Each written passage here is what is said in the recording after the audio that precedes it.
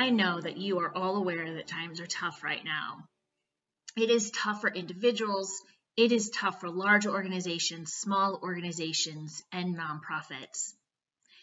Dove House is able to offer critical life saving services because of the generosity of individuals like you and because of our annual celebration luncheon and dessert auction. This year we had to postpone our event, but the services that we offer are critical. Even though we've had to postpone that event, we wanted to share a portion of the program with you. We wanted to share Jillian's story. Jillian was one of our doves who successfully completed our program and is alive today because of it. I would have died if Dove House hadn't stuck around and given me ample opportunity to recover.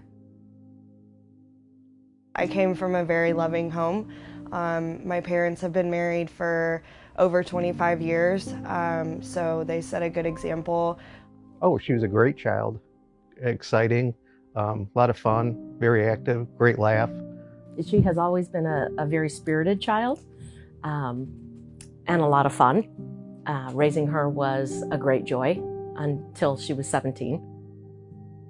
I started using drugs and alcohol when I was about 17 years old. I didn't really understand what addiction was or the fact that I was an addict until probably closer to 21 or 22. And by that time, I was a little in over my head. But the summer uh, that she was 22, she told us that she was addicted to pain pills. By the time that I realized I had a problem, I wasn't trying to seek help for that problem. I eventually, heroin became my drug of choice. We, we had suspicions that she was probably using something, but we didn't know to what extent. And then we'd hear stories from other people, and we kind of didn't believe them or maybe we were in denial, I don't know. Um, and then that day came.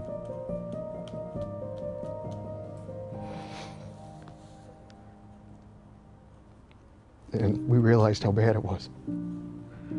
And she didn't want help, and you couldn't get her help, so. I'll never forget that morning because I opened the door and she was sitting Indian style with her legs crossed and her face was flat in the mattress. And next to her was a leather belt and a little dish with a needle in it. And I knew exactly what that meant.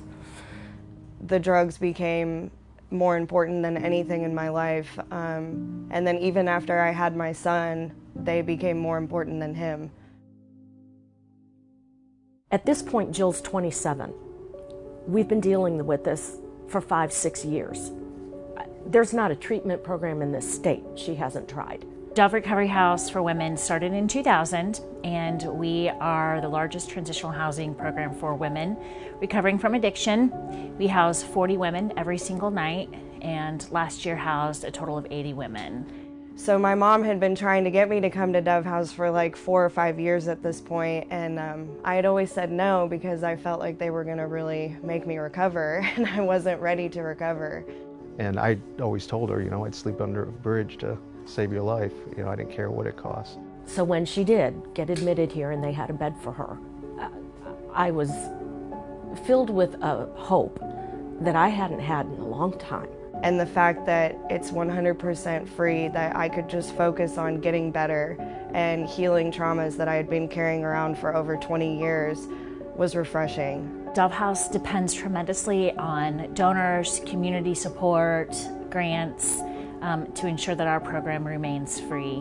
When I first got to Dove House, my relationship with my son was pretty tarnished. It was just as broken as I was. Um, and for a while, it was really hard for me to um, establish that relationship with him, and I didn't even know if I wanted to.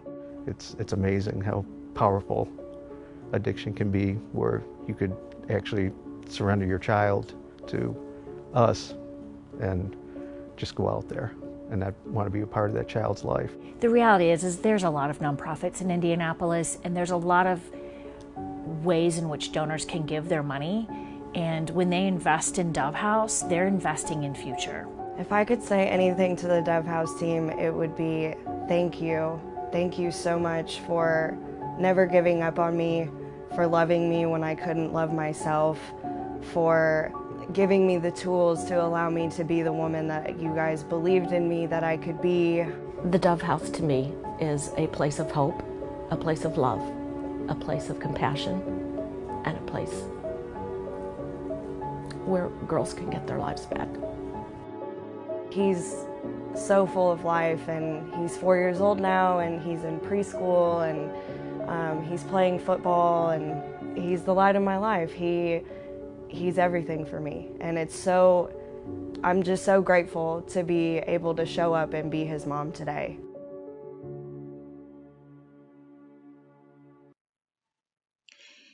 Thank you for taking the time to learn more about Jillian. Right now, we need your help more than ever to keep our doors open. We are hoping that you will join us by making a $300 gift or more to our Fund a Dove campaign. This will ensure that our program remains free to the most vulnerable women in our community. Thank you for your time today, and I hope that you and yours stay safe and healthy. Thank you.